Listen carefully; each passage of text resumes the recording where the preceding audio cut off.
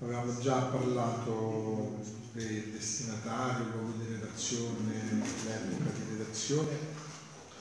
lasciamo lo schema della lettera un po' per dopo perché è abbastanza complesso. E diciamo sul contenuto della trasmissione, il testo è la lettera più lunga fra le lettere di Paolo è quella con il vocabolario più ampio, mentre il vocabolario di Paolo è piuttosto ripetitivo, ma ormai sono sempre gli stessi termini, nella lettera ai Romani la terminologia si amplia di molto, è lunga circa 31 pagine nella versione greca del testo critico Honest Laland, 1094 parole,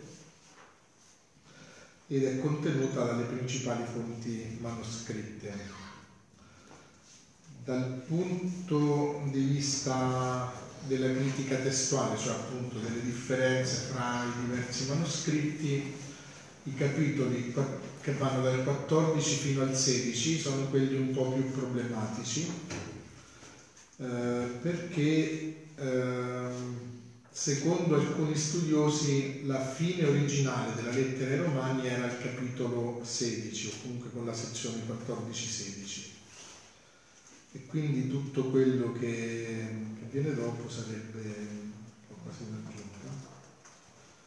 Eh, però sono solo supposizioni, per cui secondo alcuni di questi studiosi addirittura il testo terminerebbe al, al versetto 23 del capitolo 14 e il resto sono frammenti provenienti da altre lettere rielaborati e messi un po' appiccicati.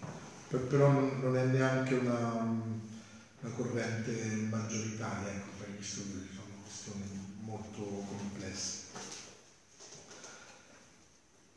E addentriamoci nell'analisi del testo.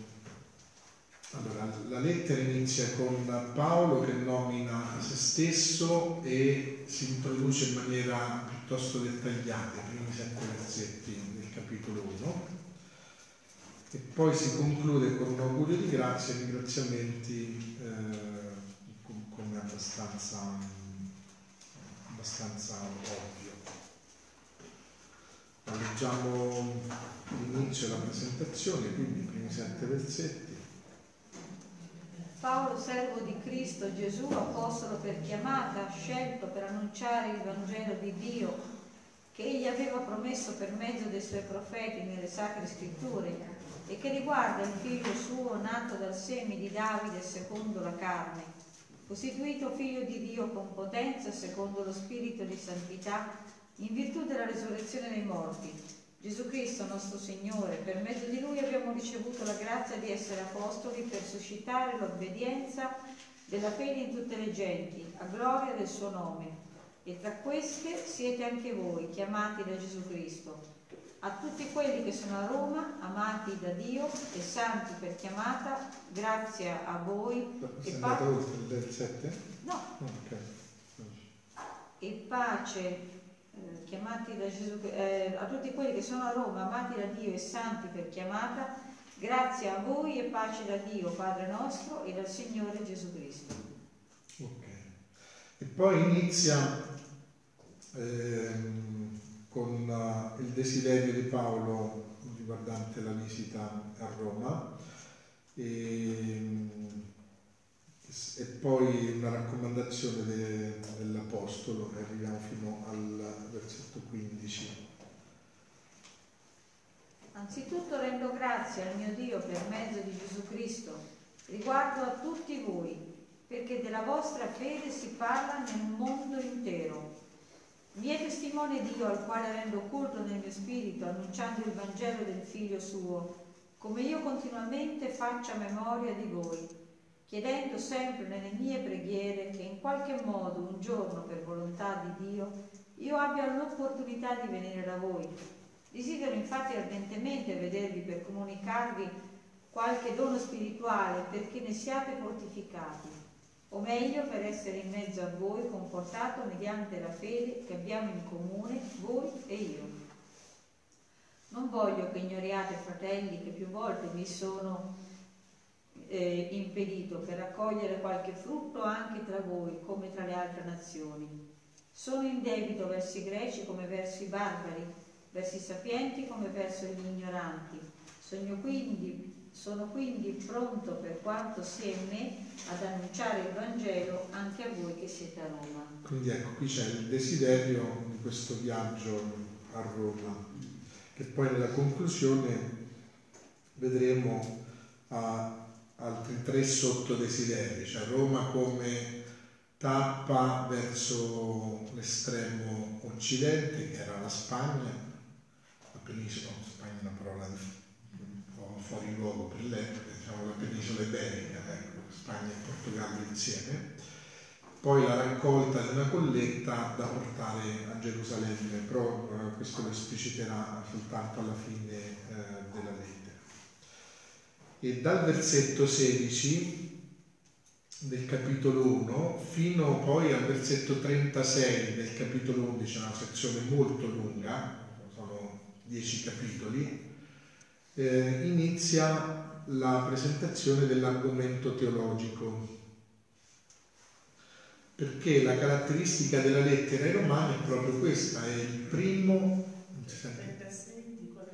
dal versetto 16 del capitolo 1 al versetto 36 del capitolo 11, quindi dall'1 all'11, da 1.16, 11.36, è un grande trattato teologico eh, dove l'argomento teologico viene strutturato su due livelli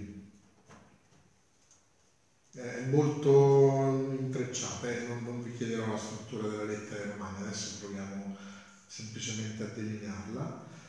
Eh, una spiegazione in due parti sulla natura della condizione umana, che potremmo definire una natura segnata dal peccato, in cui il peccato non riguarda semplicemente la condizione umana, ma tutto il cosmo. Quindi una, una sorta di afflizione da parte del peccato che riguarda l'intero cosmo e la natura umana. E poi parla della condizione attuale dell'uomo e della condizione finale e della nuova condizione dei credenti in Cristo in virtù dello stato di fede. Cioè, la fede porta ad aderire a Cristo e questa adesione a Cristo per fede genera una nuova condizione intermedia fra quella iniziale segnata dal peccato e quella finale che è quella della redenzione definitiva. C'è un uh, piccolo inno di otto versetti al capitolo 8, dal 31 al 39, che fa da ulteriore spiegazione al tema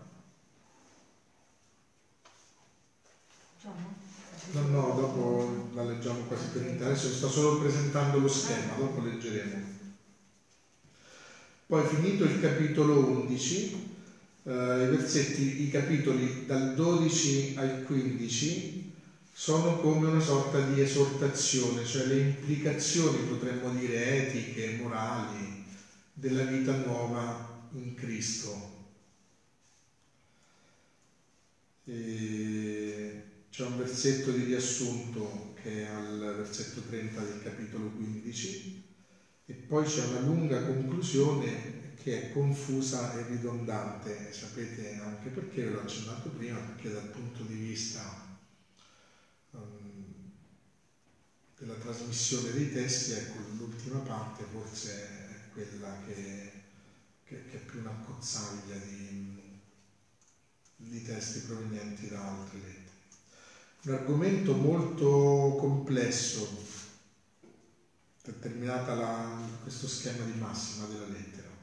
Quindi parla della condizione umana segnata dal peccato, come se ne esce in virtù della fede in Cristo, contrariamente a quella che è ovviamente la, la dottrina secondo cui se ne esce con l'osservanza dei comandamenti e delle leggi, però se uno chiedesse qual è il vero argomento della lettera ai Romani, di che parla?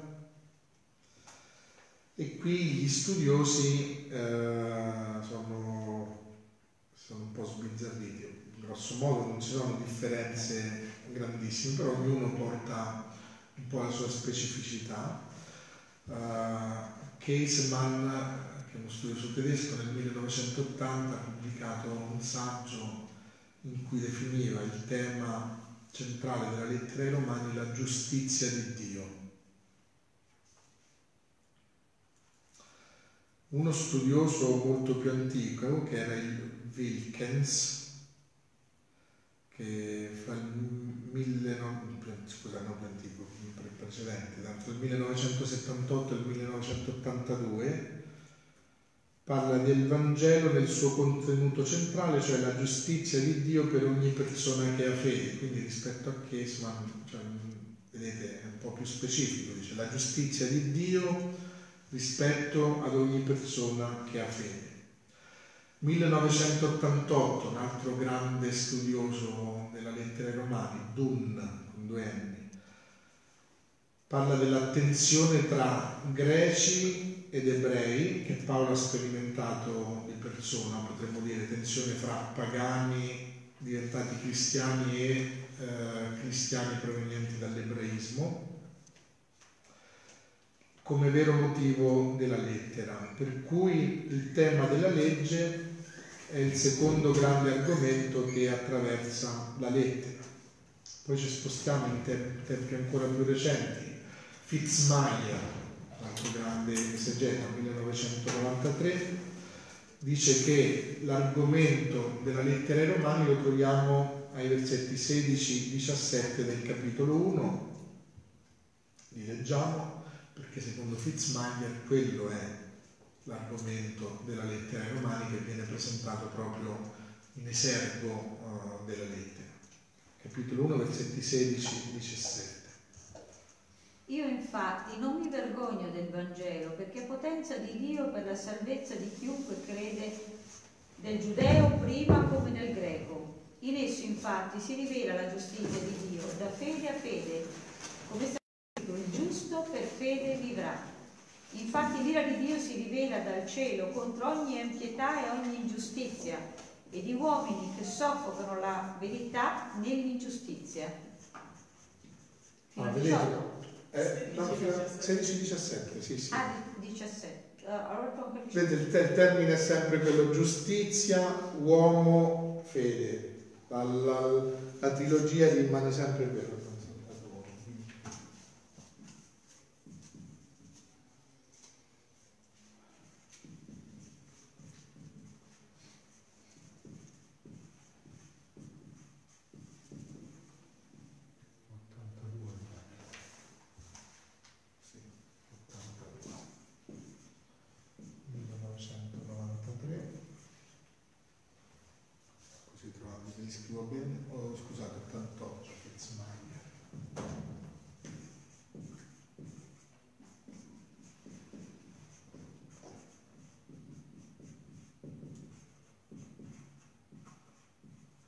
Scrivo 1, 16, 17 così vi ricordate.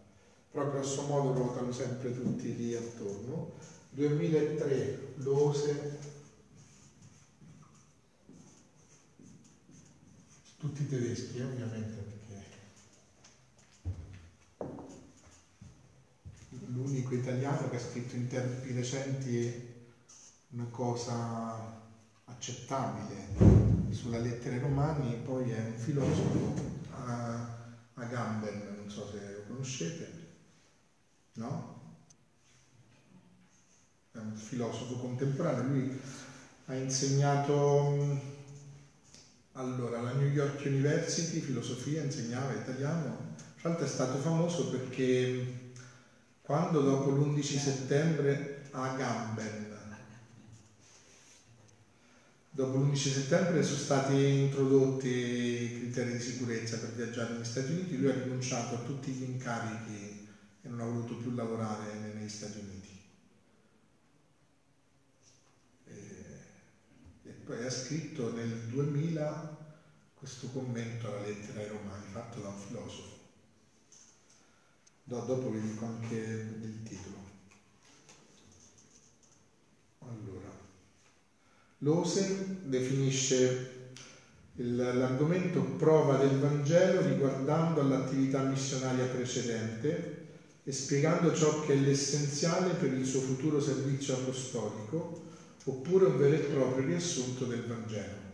Però in sintesi, qual è il riassunto del Vangelo?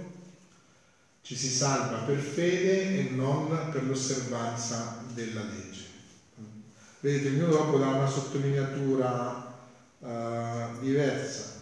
L'ultimo nel 2007, Jewett,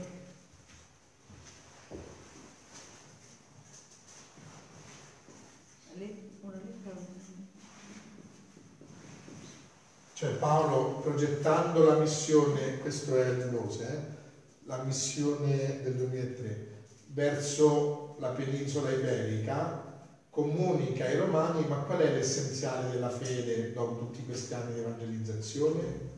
E il messaggio, ovviamente già ormai siamo abbastanza familiari, è questo grosso cavallo di battaglia del pensiero di Paolo, dove però la legge, notate bene, non viene buttata via completamente, perché poi lui nell'ultima parte della lettera, l'avevo già accennato, riprende qual è il valore della legge per un cristiano essenzialmente lo vedremo, lo riassumerà nel comandamento dell'amore, cioè la legge riletta alla luce del comandamento dell'amore, che è un aspetto che a volte si dimentica perché uno legge solo la prima parte magari della lettera ai romani, no? Tutto... Eh, invece dopo eh, Paolo la, la, riprende.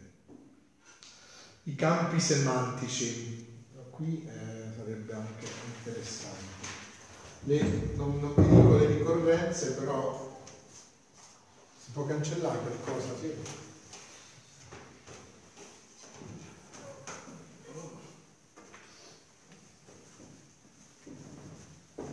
Allora, la prima parola greca che ricorre più spesso è nomos. Qualcuno di voi sa che cosa significa?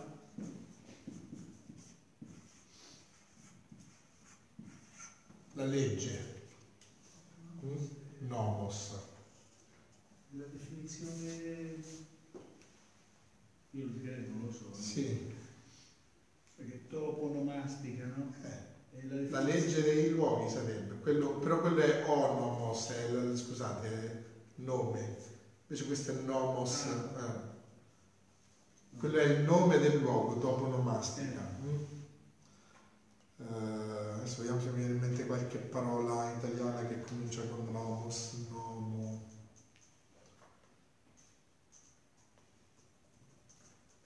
Prendi anche la parte degli punti.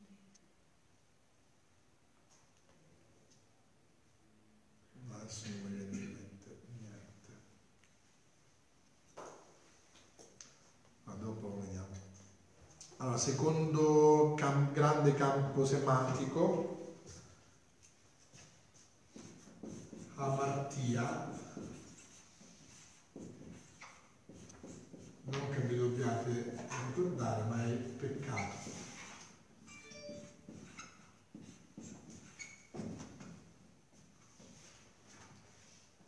E, sì. Il terzo è la pistis, questa proprio così, no? Che è la pistis.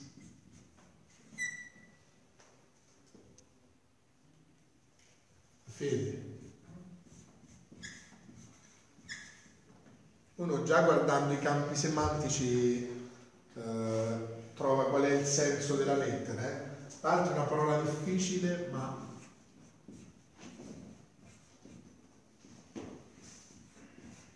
dica iusine, giustizia. Dikaios significa giusto, no?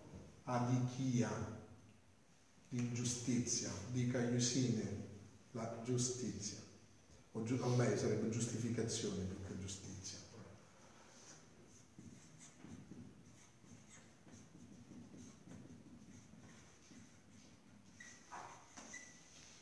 E poi l'altro grande campo semantico, questo non ve lo aspettereste, è etnos, che significa popolo.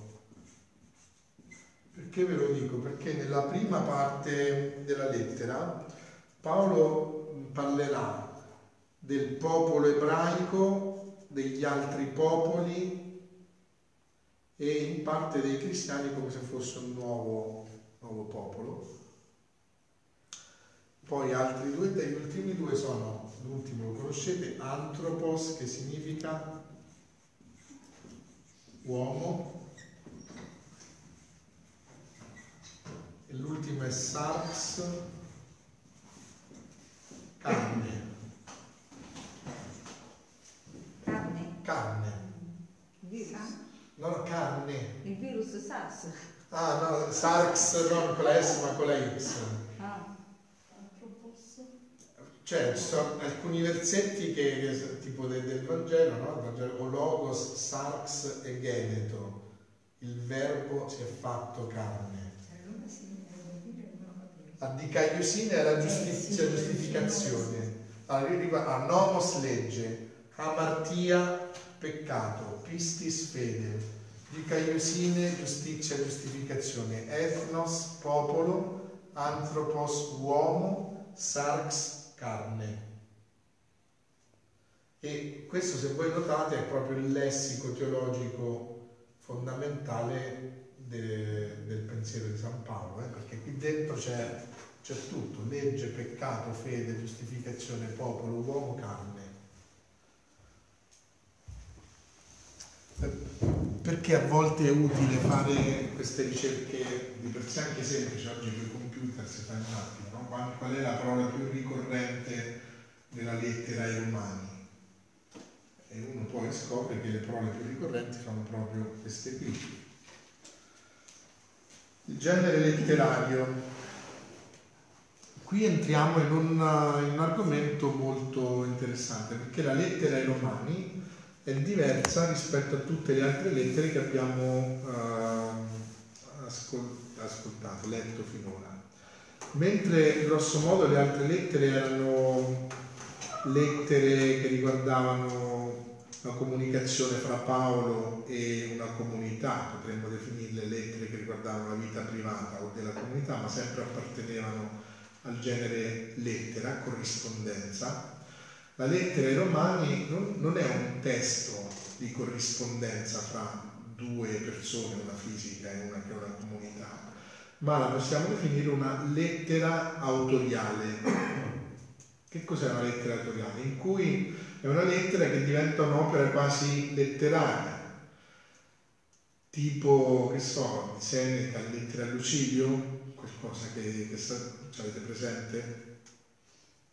Un'altra bellissima lettura che sarebbe da fare, Lettere a Lucidio, Seneca, una bella opera filosofica, molto semplice, in cui chi scrive magari non lo fa semplicemente con l'intenzione di scrivere a una persona, ma usa lo strata, la stratagemma letterario della lettera, che qui però è anche reale, mentre in, altre, in altri contesti è fittizio, cioè non c'è la vera necessità di comunicare qualcosa a qualcuno, ma la lettera diventa lo, lo strumento, la letterario. E perché vi ho parlato di lettera autoriale? Perché la lettera ai Romani diventerà quasi un modello di un genere letterario che nasce con la lettera ai Romani in ambito cristiano. In tanti inizieranno a scrivere lettere di contenuto teologico sulla falsariga della lettera ai Romani, non per l'impellente necessità di comunicare qualcuno, qualcosa a qualcuno, come magari avveniva no? nelle altre lettere. C'è un problema in quella comunità, io ho bisogno immediato di risolverlo e comunicare, no, ma la lettera diventa la cornice, lo strumento che permette di operare un'elaborazione teologica approfondita e strutturata in maniera complessa.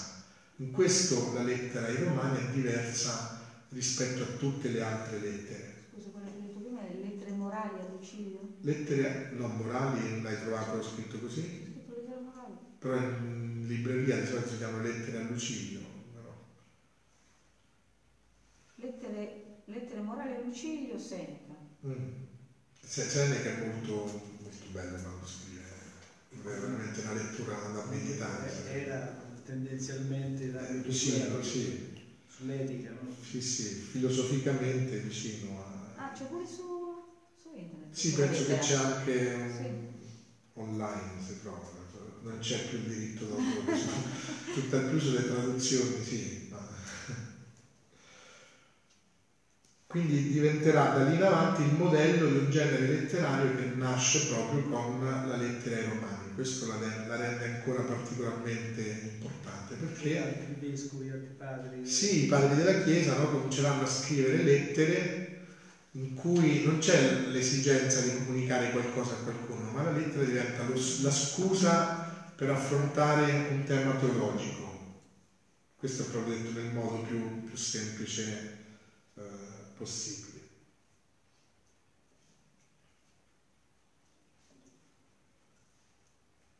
In senso stretto qualcuno l'ha definito un genus epiditticum, cioè un genere epidittico o, o demonstrativo, cioè una dimostrazione articolata fatta dentro la cornice di una lettera. mm?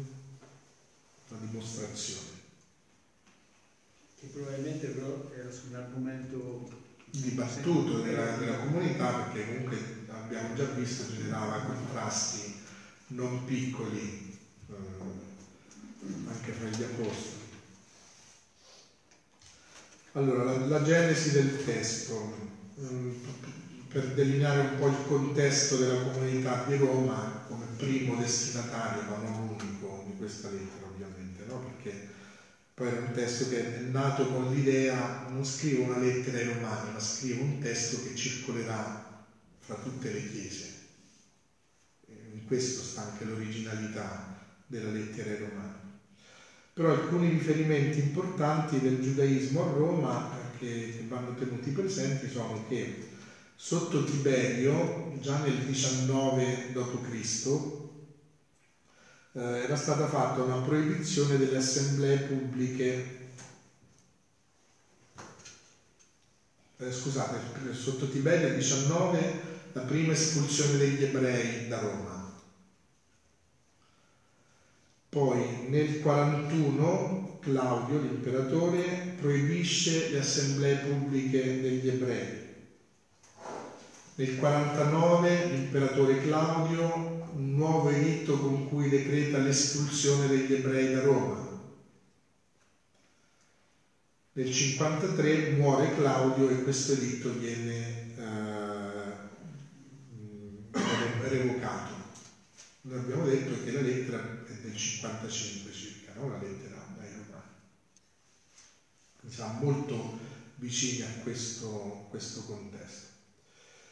E in alcuni versetti Paolo ci dà alcuni indizi sulla composizione sociale della comunità di Roma, eh, attestando che i cristiani di Roma vengono dal paganesimo. C'è un riferimento al versetto 5 del capitolo 1, 1, 5 e seguente. Ascoltiamo un po'. Aspetta l'avevo spento. Allora, capitolo 1, 1, 5 e 6. capitolo 1, Versetto 5 e ah, 6. torniamo Sì, indietro.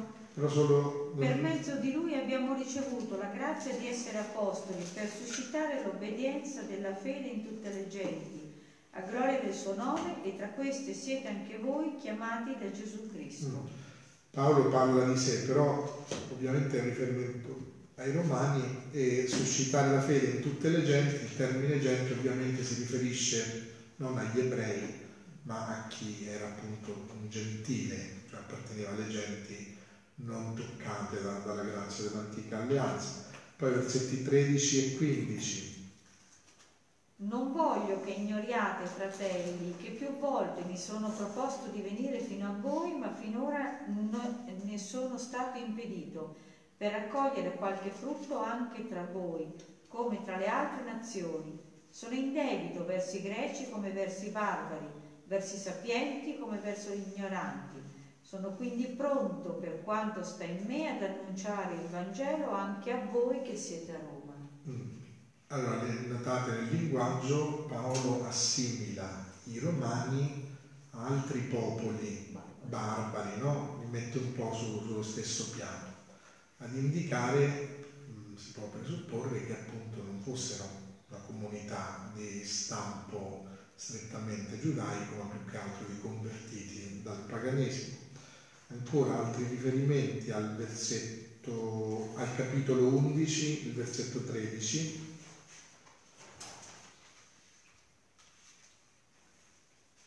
A voi genti, ecco che cosa dico, come apostolo delle genti io faccio onore al mio ministero. Allora, vedete questo a voi ci fa presupporre che si riferisca al destinatario della lettera, lettera ai Romani, e siccome associa il termine genti ai Romani, supponiamo che i Romani appartengono alla categoria dei gentili convertiti al cristianesimo.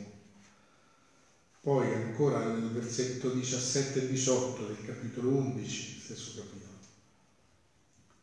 Se però alcuni rami sono stati tagliati e tu che sei un olivo selvatico sei stato innestato fra loro, diventando così partecipe della, della radice e della linfa dell'olivo, non vantarti contro i rami. Se ti vanti, ricordati che non sei tu che porti la radice, ma è la radice che porta a te. Ah, questa è una grande metafora che Paolo utilizza alla fine della lettera, molto poco conosciuta, però ci fa capire qual è la dinamica dei rapporti fra ebraismo e cristianesimo nel pensiero di Paolo. No? Paolo paragona i cristiani di Roma all'olivastro o olivo selvatico, diciamo, qualcosa del genere. No? L'olivo selvatico non, non, non dà i frutti, non, non, crea le olive, è solo foglie. E allora Paolo usa questa metafora quest- l'olivastro, cioè voi romani, siete stati innestati su un ceppo che è attaccato alla radice, che è il popolo di Israele. E, e ricordate che voi portate frutti perché siete innestati su quella pianta. Quindi non porta un rinnegamento totale di quello che è il giudaismo, no? ma, ma ne parla del giudeo-cristianesimo, del, del cristianesimo in relazione al giudaismo come di un innesto tra la pianta selvatica e il vero olivo. Per cui poi anche il ramo selvatico in natura, eh, assumendo della linfa della pianta originaria, arriva a portare frutto, senza fare tutta la fatica che ha fatto la pianta originaria. È una metafora molto potente che la conoscevate? che utilizza San Paolo. Questo paragone all'olivastro ovviamente ci fa supporre che non si tratta di una comunità di ebrei, no? sarebbe del tutto inappropriata uh, come, come, metafora. Questo era il 17, vero? Sì. Mm, poi il capitolo 20, poi il capitolo 24 ancora alcuni versetti, il 28, poi... Scusate, no, il versetto 24. Scusate. Ah, sempre nell'11. Sì, sì. Eh, se tu infatti dall'olivo selvatico che eri secondo la tua natura sei stato tagliato via e contro natura sei stato innestato su un olivo buono, quanto più essi che sono della medesima natura potranno venire di nuovo innestati sul proprio olivo. Mm, e parla della necessità di un autoinnesto quasi dell'antico Israele perché possa tornare a portare frutto. E poi al versetto 15 e 16 del capitolo 15, anzi diciamo dal 15 al 18 così facciamo prima. Capitolo 15. 15-18. Tuttavia, su alcuni punti vi ho scritto con un po' di audacia come per ricordarvi quello che già sapete a motivo della grazia che mi è stata data da Dio, per essere ministro di Cristo Gesù tra le genti, adempiendo il sacro ministero di pronunciare il Vangelo di Dio, perché le genti divengano un'offerta gradita santificata dallo Spirito Santo. Questo dunque è mio vanto in Gesù Cristo nelle cose che riguardano Dio non oserei infatti dire nulla se non di quello che Cristo ha operato per mezzo mio per condurre le genti all'obbedienza con parole e opere. Sei arrivata fino al 20? 18. Ah, ok. Dopo continuiamo fino al 20 perché tanto... Con la potenza di segni e di prodigi, con la forza dello Spirito, così da Gerusalemme in tutte le direzioni fino all'Illiria.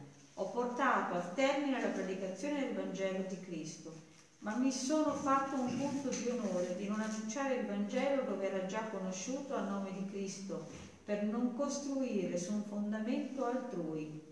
Qui il E, qui vediamo altri riferimenti, no? Paolo definisce se stesso apostolo delle genti e ovviamente rivolgendosi ai romani si riferisce a persone che lui primo mette nella categoria genti, cioè pro- provenienti dal paganesimo.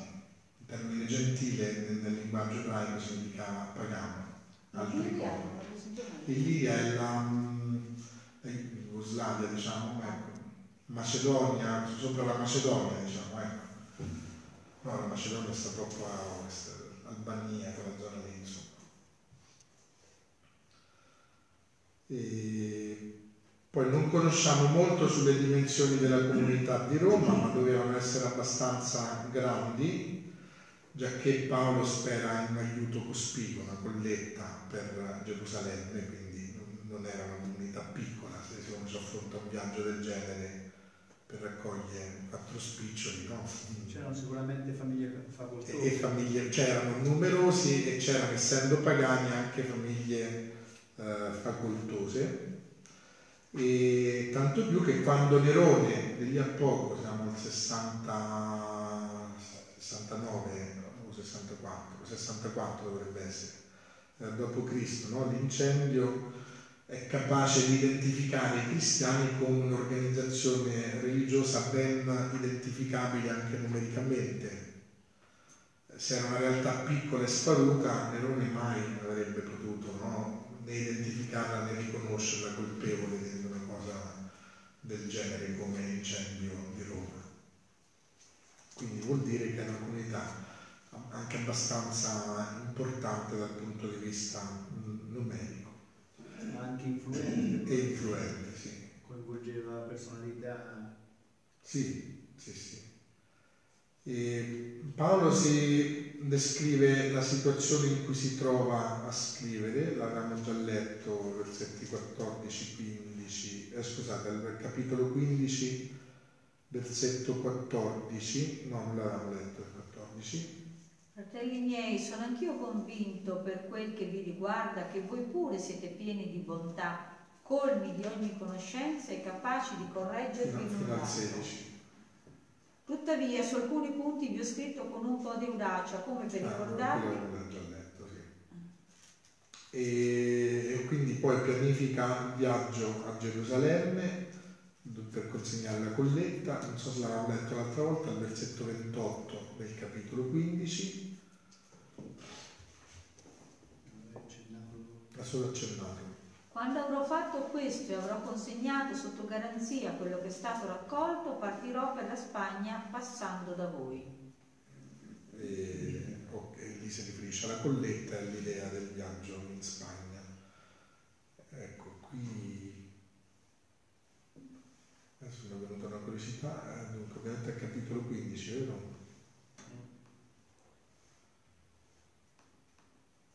Come chiama la Spagna Paolo? Spagna c'è scritto. È la traduzione. No. Eh, Io non, avrei, io non avrei tradotto Spagna perché è un termine... Sarà Iberia. Eh sì. Però vedete, cioè su una cosa anche così banale, no? È corretto tradurre Spagna eh, quando tu stai traducendo un testo che si riferisce a quando la Spagna non c'era? Eh, ehm, dunque abbiamo detto versetto 16 era? Albanian. 28. No, no, 28? Sul greco. 15. Sì. Quella era già la, la chiamavano. Spagna. Allora, è lunghissimo questo capitolo. Poi con l'interlineare secondo di pazienza. Insomma è venuta lì per lì la, la curiosità, eh? Sarà stata No, probabilmente il termine Spagna viene da, da quel termine lì. 28, vero? Ah sì, sì, proprio l'ultima parola. Spanian, vero? Eh, allora, giusto. Ma sarà una trascrizione tarda. Eh, scusa, eh, sì. verrà da codici Eh, eh, ah, cerchiamo su un dizionario che si riferisce alla, alla traduzione di Spagna in greco.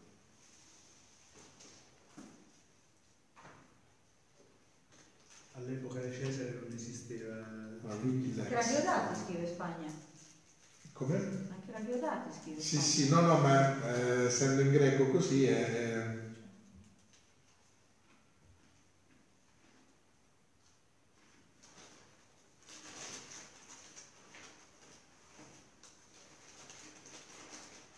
Ah, nella 70 già c'era il Marco.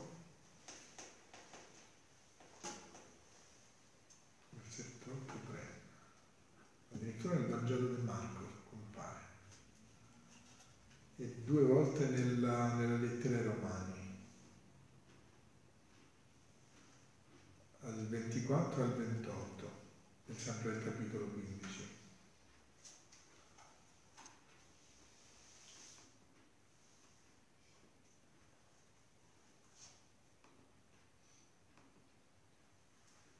Poi aspettavo un'altra.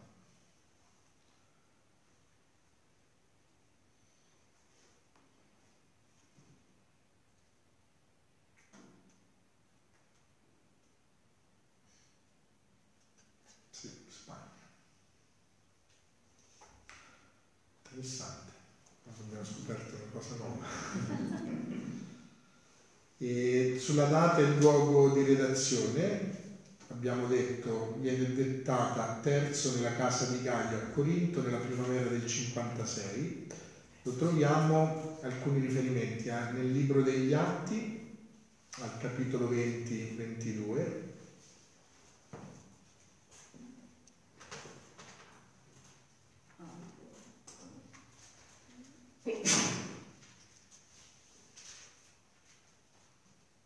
20-22 Sì, Ed ecco dunque, costretto dallo Spirito, io vado a Gerusalemme senza sapere ciò che là mi accadrà. proprio si riferisce alla... eh, allora, aspetta che cerco Romani 16.1.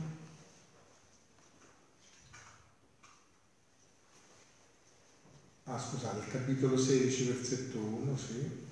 De- degli atti. Sì, sì. Eh, Romani, Romani, scusa.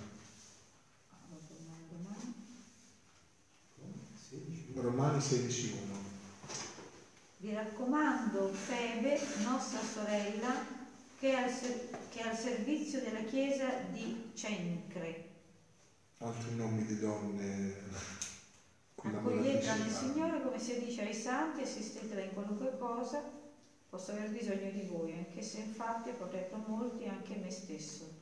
E poi 16.23. Ha corretto molti anche me stesso, eh, notate.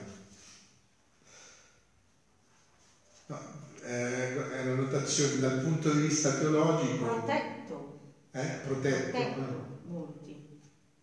Allora, il 23, Sempre nel 16. sì, Vi saluta Gaio che ospita me e tutta la comunità. Vi saluta Erasto, tesoriere della città, e il fratello quarto. quindi eh, si ritiene che stesse a casa di, eh, di Gaio. Allora, per, per parlare dell'unità e del processo editoriale, il capitolo dall'1 al 15 i capitoli sono abbastanza coesi. Problemi grossi non nascono al capitolo 16, dove la conclusione, secondo alcuni, sarebbe una lettera, un'altra lettera agli Efesini, quello che sta scrivendo, che è un po', un po' quello che abbiamo iniziato a leggere adesso. Adesso proviamo ad entrare dentro il contenuto della lettera ai Romani. Abbiamo detto è una istruzione argomentativa eh, dal punto di vista teologico, in cui i destinatari sono generici perché intende raggiungere un, uditorio di più ampio eh, raggio.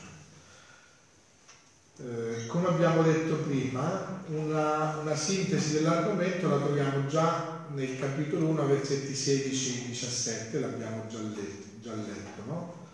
Eh, dove appunto viene presentato come tema l'idea di una giustizia umana di fronte a Dio E eh, mentre gli ebrei pensano che questa venga dall'adempiere la legge di Mosè, da Abramo in poi, Paolo afferma che la giustificazione rivelata con la proclamazione del Vangelo cancella la necessità della, della, della salvezza come obbedienza alla legge, ma la mette in relazione alla fede, cioè la salvezza viene non dall'osservare le leggi e i precetti, come era nell'Antico Testamento, ma la salvezza viene dall'avere fede in Cristo e mette in dubbio la funzione e per certi versi la validità stessa della legge dal punto di vista ebraico. E... precisare la sottigliezza tra giustificazione e salvezza? Perché li stai scambiando i tempi. No, l'ho messi insieme, sono quasi sinonimi, no? Cioè io come mi salvo, come arrivo alla risurrezione, diciamo, dalla, dalla morte eterna, come mi salvo? Se sono giusto. Perché so, no, perché sono stato giustificato, non è perché sono... ecco le due, le due, le due, le due opzioni, no? Una è se sono giusto, se mi impegno nell'osservare i comandamenti, visione uh, giudaico-farisaica. Nella, nel pensiero di Paolo, siccome nessuno può definirsi giusto, l'abbiamo già visto, no? di fronte alla legge, l'unico modo per ottenere la salvezza è affidarsi all'unico che è il Salvatore, dichiarando per fede che Gesù è il Signore. Però la lotta non è fra fede e opere, eh? perché poi Giacomo non dice il contrario di quello che dice Paolo, è un argomento che abbiamo già anche affrontato. Non ci si salva solo per Esatto, non solo per le opere. O se le opere ci sono, devono essere opere che nascono dalla fede e non avere l'illusione di salvarsi perché si è brave persone. Paolo la, la direbbe così, tradotto in lingua corrente. Eh. Paolo era pelagiano, no? no ah, eh, eh, sì, ah. Se uno pensa di salvarsi sì, con le opere, sarebbe... Lo. Quindi questo sarà giustificazione, salvezza, cioè la giustificazione è il processo, la salvezza è l'effetto, però le utilizziamo spesso come, come sinonimi. Ehm, poi nei capitoli dall'1 al 3 questa teoria o dottrina viene sviluppata nel suo significato per i gentili e per gli ebrei. E coordina Paolo questi due sistemi antropologici, due categorie, ebreo, non ebreo, cioè salvarsi per fede, come si applica a queste due categorie di umanità, per gli ebrei e per i non ebrei?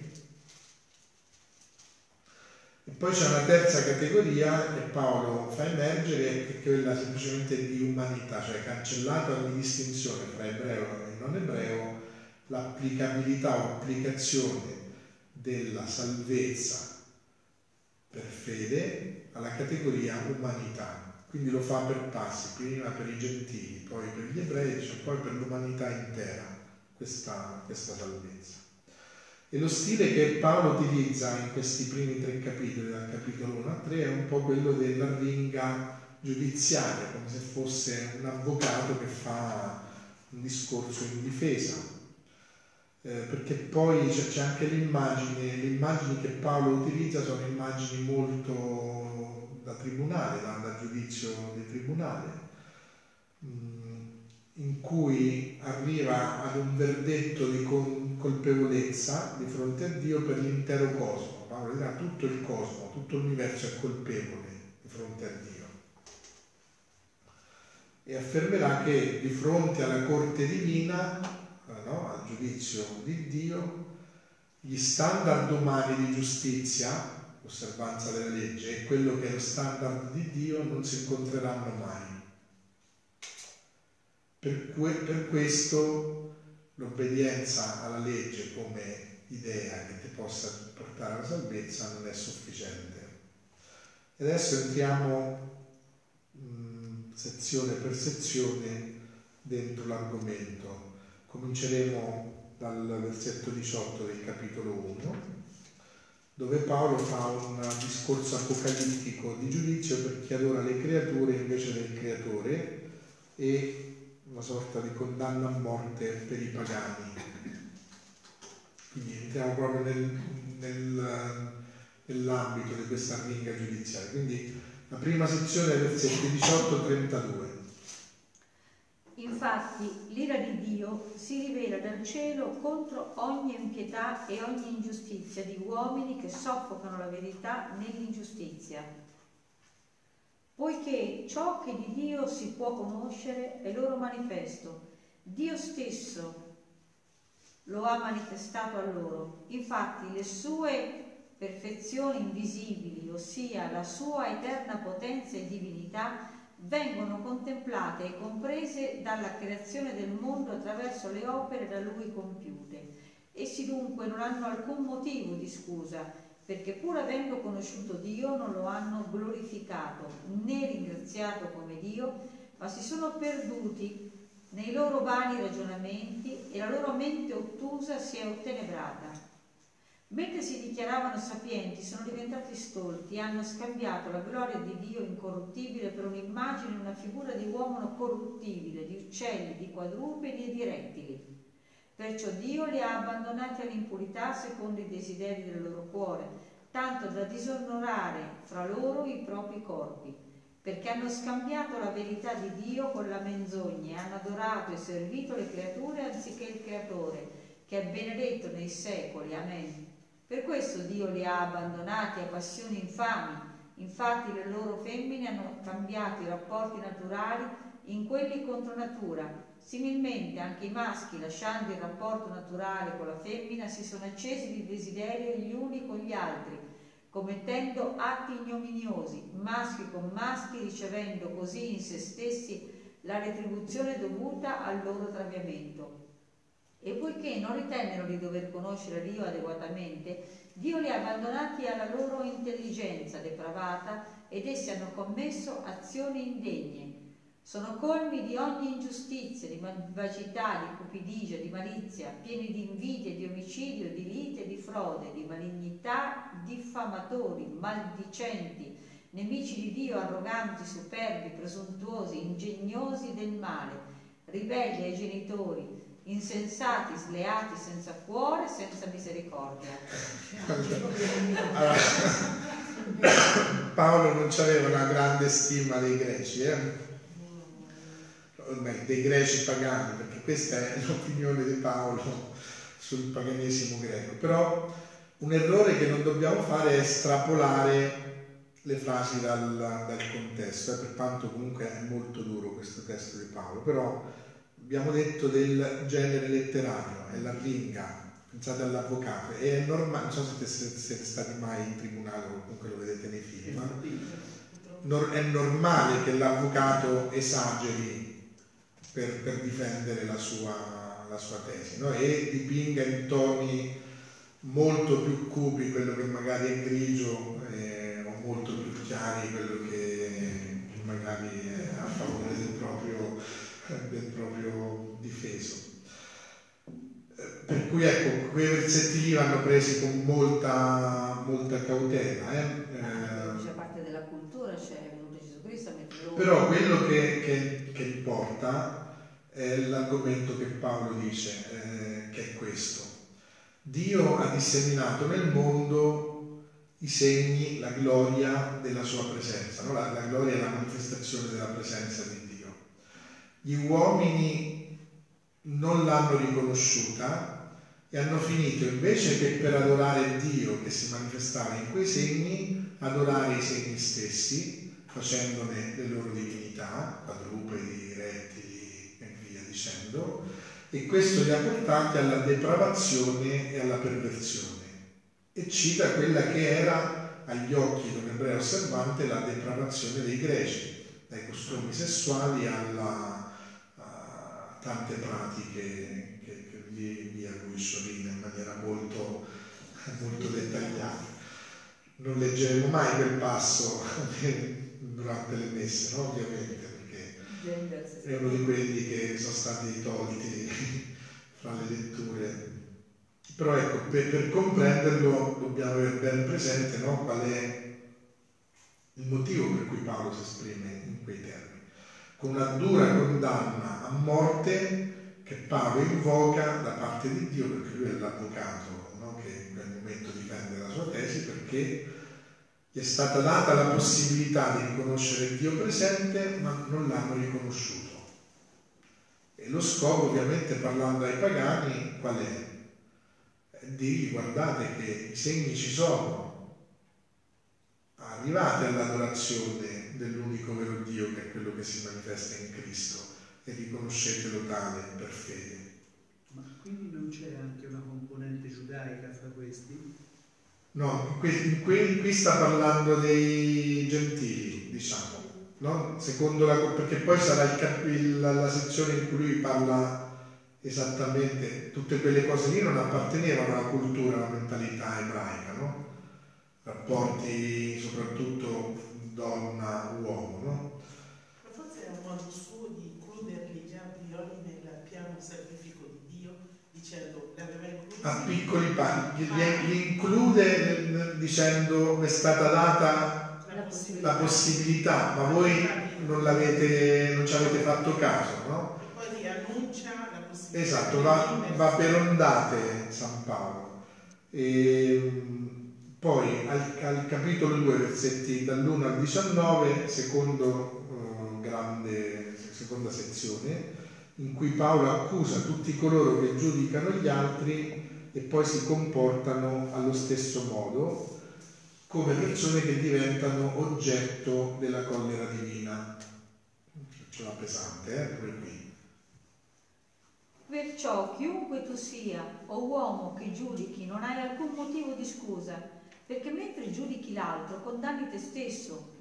Tu che giudichi, infatti, fai le medesime cose, eppure noi sappiamo che il giudizio di Dio contro quelli che commettono tali cose è secondo verità.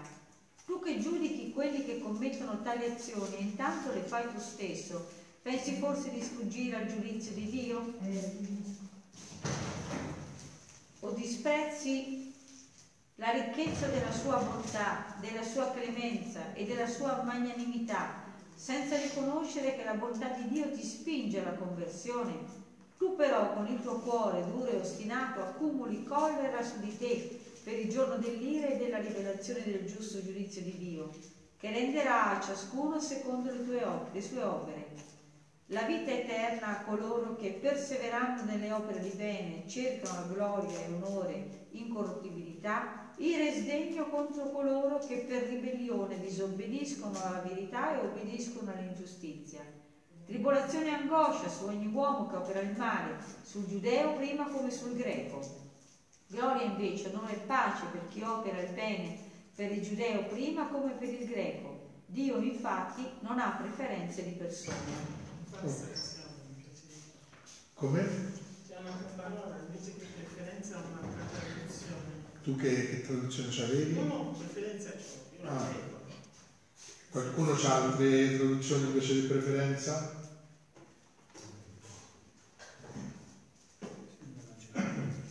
Mm, Corretto? Due romani. 16, versetto 16, capitolo 2. No, è l'11, versetto 11. Dio Eh, infatti diverso. non ha preferenze di persone. Scusa, io sono rimasto Beh, in fondo. sì, sì. Ah,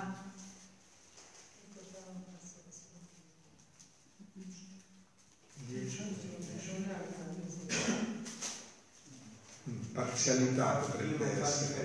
Eh, non fa differenze, oppure non c'è parzialità in Dio, però il senso è quello.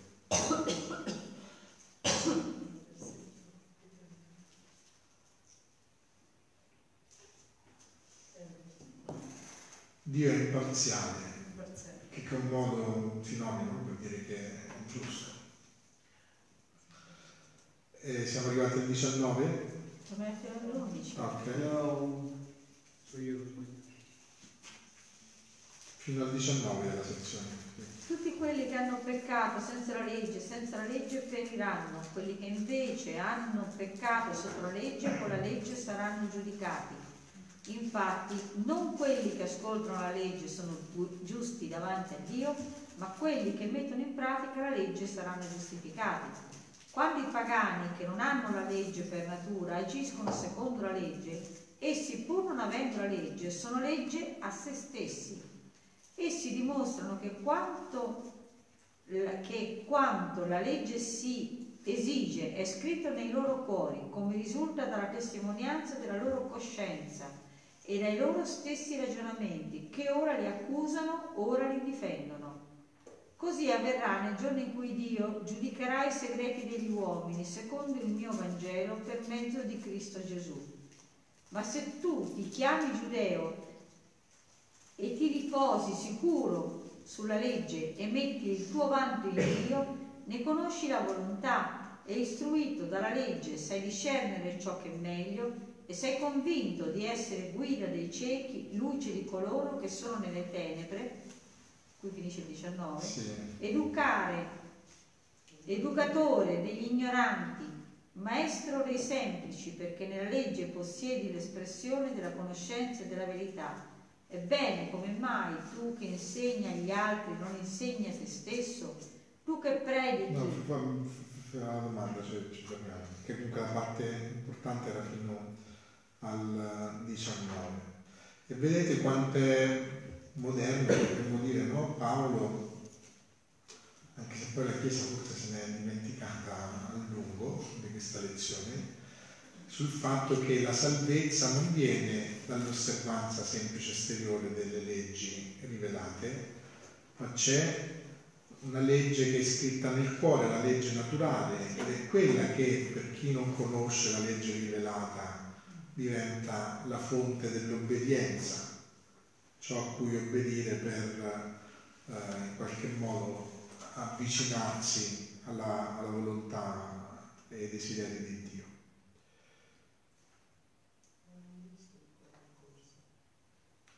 E avevo sbagliato io veramente perché era uno. Quindi c'è poi l'estensione di questa prospettiva, un'affermazione antropologica dell'etica eh, che, che, deriva appunto da, da, un giudizio sul comportamento che, che, sta nel mettersi di fronte alla propria coscienza oppure di fronte a Dio a seconda de, della propria mh, provenienza o comprensione eh, religiosa. E, e qui addirittura Paolo sviluppa un concetto di legge post-ebraica, no? che vale per tutto il genere umano, che è appunto l'obbedienza alla legge iscritta nel cuore, alla legge della coscienza. Gaudium et Spes, capitolo 16, no? riprenderà proprio dopo duemila anni questo, questo grande principio, cioè che il primo luogo in cui Dio si rivela a ciascuno di noi è nella coscienza.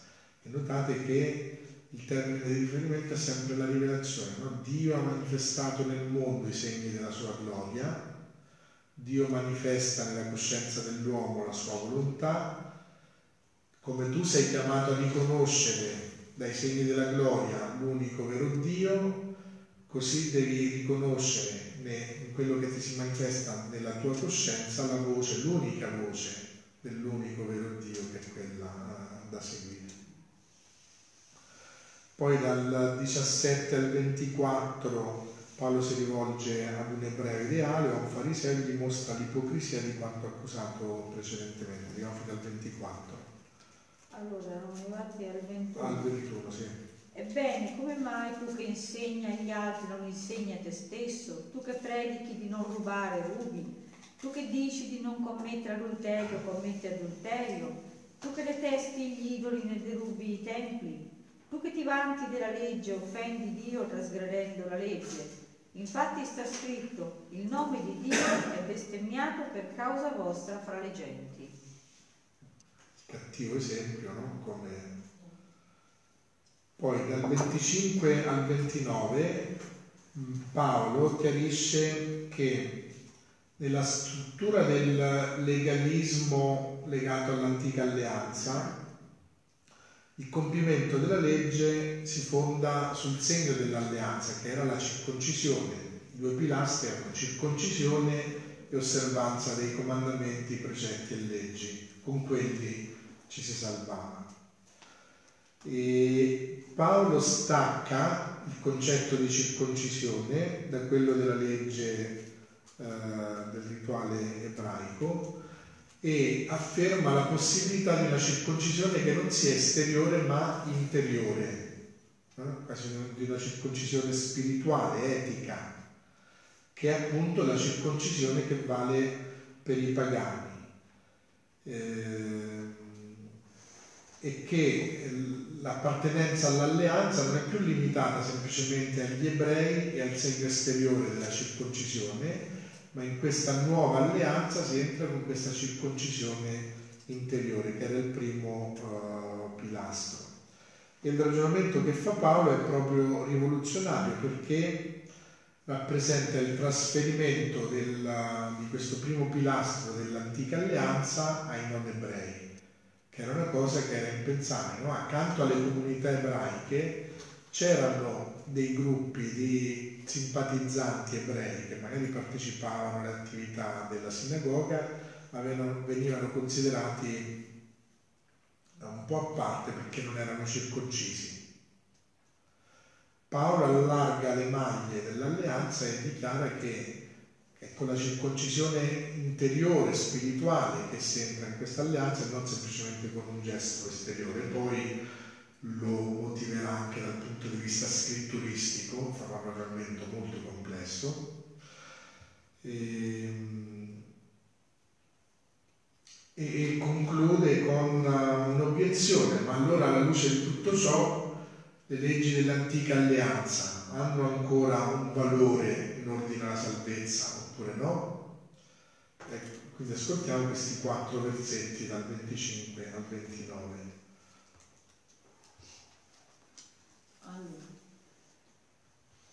Certo, la circoncisione è utile se osservi la legge, ma se trasgredisci la legge con la tua circoncisione sei un non circonciso.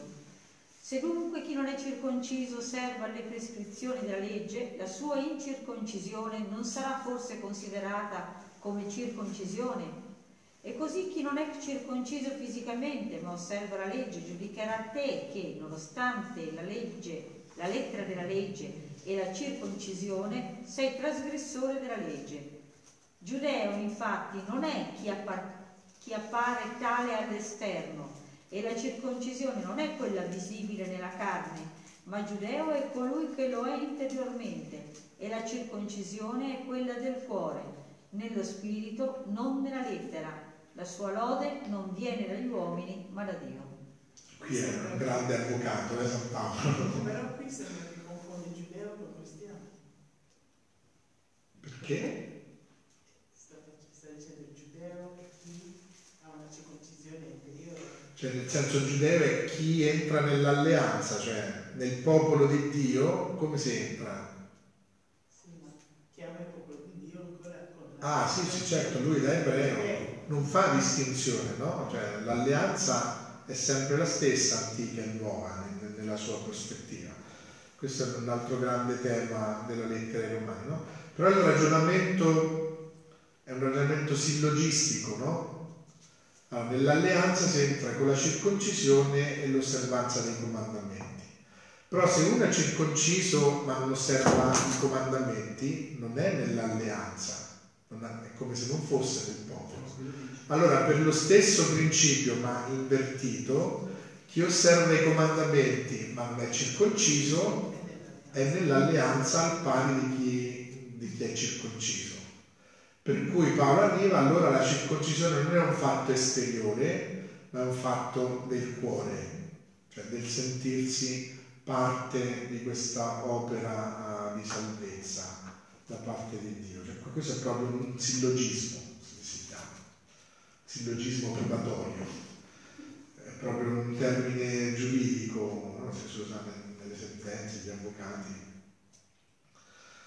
E poi al capitolo 3, nei versetti 1-8, eh, Paolo risponderà alla domanda che ci siamo posti prima, no? ma allora eh, le leggi dell'antica alleanza hanno un valore in ordine alla salvezza. e introduce l'argomento in, uh, nei versetti 1-8 e poi andrà avanti, lo approfondirà in due capitoli interi che sono i capitoli 9 e 11, però poi ci arriveremo. E Paolo afferma che il vantaggio degli ebrei sta nella fiducia o affidamento alle parole di Dio. E... Adesso ascoltiamo 3.1.8. Che cosa dunque ha in più il giudeo? E qual è l'utilità della circoncisione? Grande sotto ogni aspetto, anzitutto perché loro sono state affidate le parole di Dio. Che dunque, se alcuni furono infedeli, la loro infedeltà annullerà forse la fedeltà a Dio? Impossibile. Sia chiaro invece che Dio è veritiero, mentre ogni uomo è mentitore, come sta scritto, affinché tu sia riconosciuto giusto nelle tue parole e vinca quando sei giudicato. Se però la nostra ingiustizia mette in, in risalto la giustizia di Dio, che diremo? Dio è forse ingiusto quando riversa su di noi la sua ira? Sto parlando della maniera umana, impossibile, altrimenti come potrà Dio giudicare il mondo? Ma se la verità di Dio abbondò nella mia menzogna, risplende di più per la sua gloria, perché anch'io sono giudicato ancora come peccatore e non, come, e non è come alcuni ci fanno dire facciamo il male perché ne venga il bene. Essi ci calunniano ed è giusto che siano condannati. Allora, un po', un po', un po complesso, però sì, bisogna leggerlo anche con un po' di attenzione, un testo come questo. Però l'idea di fondo è questa.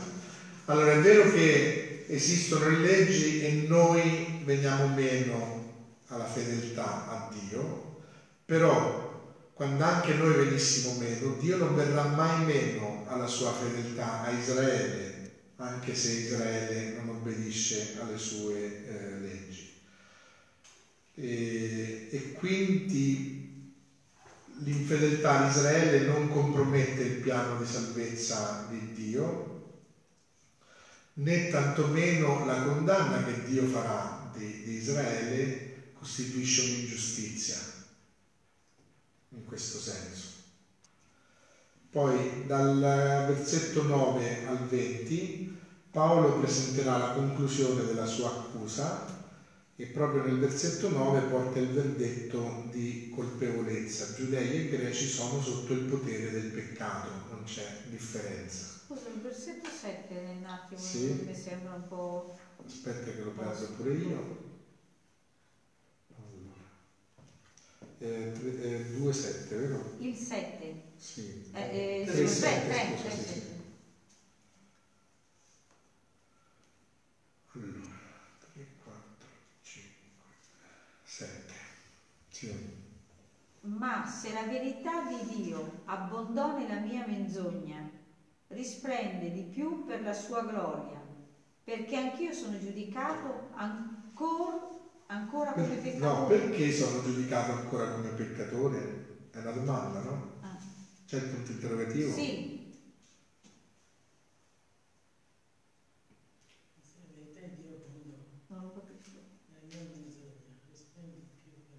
Cioè, se la giustizia di Dio è abbondata nella mia menzogna, cioè nella mia incapacità no, di, di, adempiere alla legge, perché quando io non l'adempio sono un menzognero, la menzogna dell'infedeltà.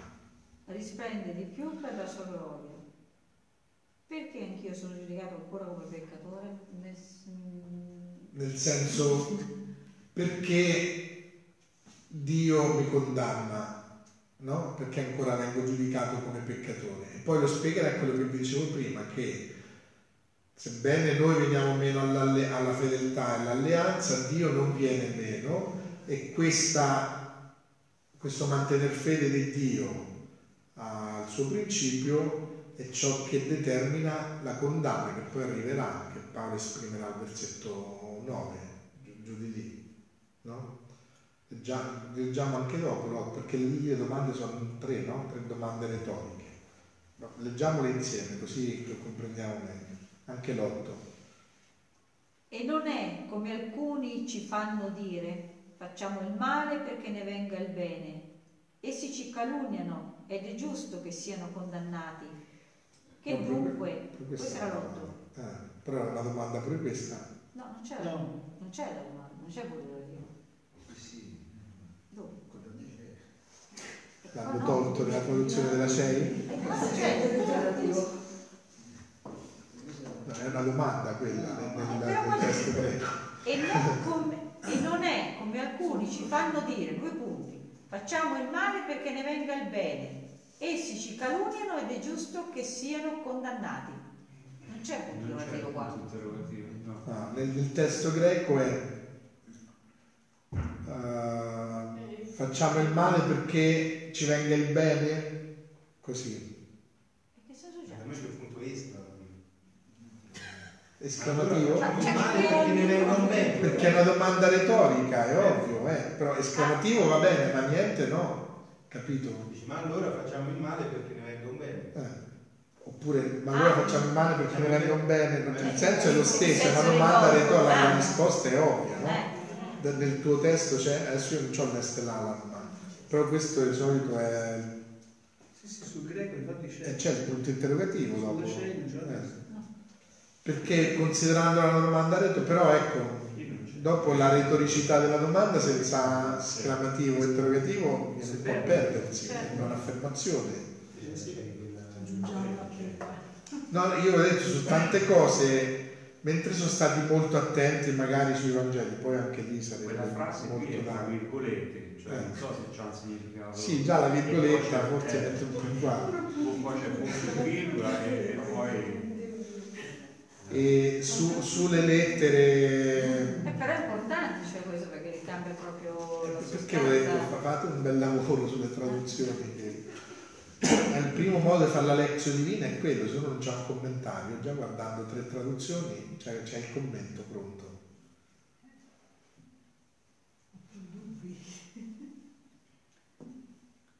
Ecco il 9. Eh sì, perché poi continuano le domande, no? Che noi. dunque? Siamo forse noi superiori? No, infatti abbiamo già formulato l'accusa che giudei e greci tutti sono sotto il dominio del peccato, come sta scritto. Allora, il risultato qual è? Sia i giudei che i greci, pur partendo da punti di vista diversi, sono infedeli a Dio, vuoi per l'osservanza esteriore alla legge, vuoi per l'osservanza al dettame della coscienza, richiamando quello prima. Però tutti siamo comunque sotto il peccato, hanno peccato sia i greci che i giudei, né più né meno, sebbene in contesti diversi. Allora, questo stato di peccato, Paolo dirà, necessita di una soluzione, perché non si può rimanere, il peccato equivale alla morte, e la soluzione, Paolo dirà, è una sola, la fede, perché l'osservanza della legge, che sia quella rivelata o che sia quella della coscienza, risulterà sempre eh, imperfetta da parte dell'uomo, perché non è che seguire la coscienza è più facile che seguire la legge rivelata, in fin dei conti, eh? Apparentemente sì, ma Dove era presi quei versetti? Come sta scritto? Cos'è? Proverbi, Siracide? allora vediamo. Ma adesso l'abbiamo letto? No, sono da leggere Quelli che seguono, che sono in corsivo. Ah, beh, adesso ci dobbiamo arrivarci ancora. Ah, Io ho una citazione dal Salmo 14, versetti 1-7. Un, tre. Eh, Poi siamo 53. questa è e lì è- potrebbe essere un'altra una cosa interessante, come hai riecheggiato. ascoltarsi. Eh? Farà ascoltarsi. Eh. Allora, Non c'è nessun giusto nemmeno uno. Non c'è chi comprenda, non c'è nessuno che cerchi Dio. Tutti hanno smarrito la via, insieme si sono corrotti. Non c'è chi compia il bene, non ce n'è neppure uno. La loro, eh, salmo, la loro gola è un sepolcro spalancato, tramavano inganni con la loro lingua, veleno di serpenti è sotto le loro labbra. La loro bocca è piena di maledizione e di amarezza, i loro piedi corrono a versare sangue, rovina e sciagura è sul loro cammino, e la via della pace non l'hanno conosciuta. Non c'è timore di Dio davanti ai loro occhi. Ora, noi sappiamo che quanto la legge dice, lo dice per quelli che sono sotto la legge, di modo che ogni bocca sia chiusa e il mondo intero sia riconosciuto colpevole di fronte a Dio. Infatti, in base alle opere della legge, nessun vivente sarà giustificato davanti a Dio, perché per mezzo della legge si ha conoscenza del peccato. Ora invece, indipendentemente dalla legge, si è manifestata la giustizia di Dio, testimoniata dalla legge e dai profeti. Giustizia di Dio per mezzo della fede in Gesù Cristo, per tutti quelli che credono. Eh, qui sei dopo il 20 però. eh. Qui siamo al 22. Eh, aspetta, aspetta. Ah, Allora, la, la citazione importante implicita in quello di prima è Coelet 720, che prendiamo. Forse la domanda tua era quella. Sì, Ce l'avete scritto voi su, sulle Bibbie, cioè fra i riferimenti? Fibra di Gerusalemme Tonino, che c'è scritto lì? Tonino, che c'è scritto sui versetti? La citazione, leggiamo. I passi paralleli. Perché Coelet Eh, 720 quelli dice non c'è infatti sulla terra un uomo così giusto che faccia solo il bene e non pecchi. Questi qui sanno. Eh. Sanno sanno Dai però la- No, lo Allora, rimane. Coelet 720 dice. lì c'è scritto, però la tua è in lingua corrente, vero? Strano che non lo riporta, perché proprio... È scritto sotto magari. dopo anche prima Giovanni 1,18. Nel- Eh, nelle però- note, sì. Tony, nelle note sotto c'è scritto Ah, la cosa. Eh, riferito al versetto se c'è. Allora, quale?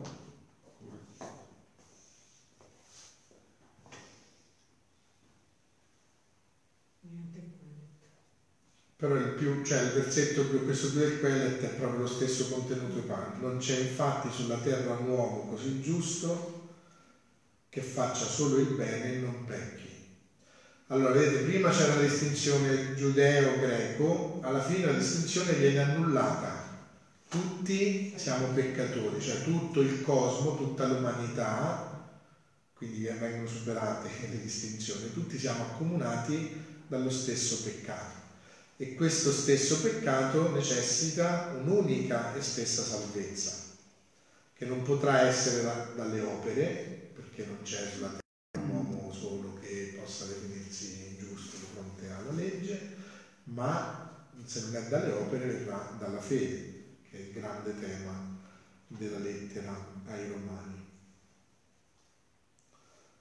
E poi dal 21 al 26 Paolo ehm, riconosce un cambio di atteggiamento da parte di Dio con la venuta di Cristo e lo fa in un testo che è molto complesso, in cui Paolo arriverà a dire che Dio giustificherà quelle persone che credono in Cristo. È come se eh, c'è un mare di naufraghi, Dio non salverà quelli che nuotano bene, che, che osservano la legge, ma salverà quelli che si aggrappano alla scialuppa di salvataggio o al salvagente, che è l'immagine più potente. No? Gesù è il salvagente nel naufragio dell'umanità.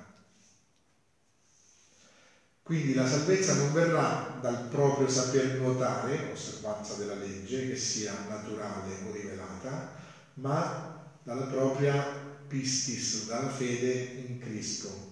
Questa è molto un'altra immagine, cioè Paolo non usa quella del naufragio, l'ho usata io.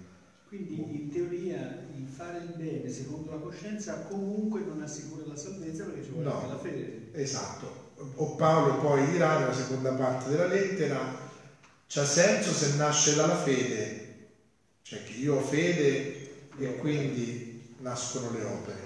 Ma se io poco poco ho l'illusione che mi conquisto, mi procuro la salvezza attraverso le opere, sono fuori strada. E se notate bene è la logica del figlio il prodigo, o meglio, della parabola del padre misericordioso, no? C'è il figlio che sta a casa, vive l'intera vita nella eh, illusione, noi diremmo, che facendo il bravo ragazzo e evitando le chiedere, servendo il padre, ma non amandolo, notate, lui si conquisti coi propri sforzi la salvezza. Quando però vede che la salvezza viene offerta indipendentemente dai meriti a chi ha avuto fiducia in lui, quella fede, no, non possiamo neanche chiamare fede, quella, quel castello si sgretola. Sì, però scusa, non è che lo devo contraddire a, a San Paolo. Però eh, se E ci mette in difficoltà tutti no, questa... Dal punto di vista, Eh. dal punto di vista. Allora, se io non conosco Cristo e conosco e provo la coscienza. E rispetto la verità che mi dice la coscienza, cioè che sostanzialmente faccio il bene, ma non conosco Cristo. È Sì, sì, possibile che Senza tua colpa, no. Oggi la Chiesa ti direbbe no, forse San Paolo era un po' più, un po' più rigida. No, non so se San Paolo sarebbe stato d'accordo, però è ovvio, nel suo pensiero probabilmente no, perché abbiamo visto no, nella sua ottica tutto il mondo è naufrago nel peccato. Non Eh, ma questo lo sai perché hai conosciuto la, la, la Sì. verità, se, non l'hai conosciuto non... Noi oggi diciamo che la misericordia di Dio, se uno non c'ha colpa nell'aver aderito, va al di là dell'adesione a Cioè, Dio. quello che Dio ha fatto, quello Sì, che sì. Dio ha fatto, in effetti ha distrutto più che altro. Cioè, ha La distrutto- prossima volta riprenderemo da qui.